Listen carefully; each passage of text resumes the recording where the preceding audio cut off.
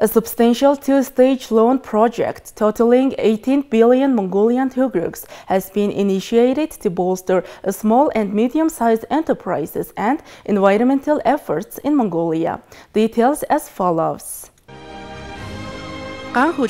Deputy Minister of Food, Agriculture and Light Industry chaired the meeting with the team overseeing the implementation of the JICA project in Mongolia. During the discussion, it was unanimously agreed to allocate 18 billion Mongolian tugruks towards the 1000 loan project under the two-stage initiative, which has been supporting small and medium-sized enterprises development and environmental conservation since 2006. The funds will be disbursed over a 10-year period through six commercial banks with an interest rate of 7%. According to statements from the Ministry of Food, Agriculture and Light Industry, the primary goal of the project is to foster stable economic development in Mongolia by providing accessible financing for small and medium-sized enterprises and promoting environmental protection measures. By facilitating financing and support, the initiative aims to stimulate growth within the small and medium-sized enterprises sector,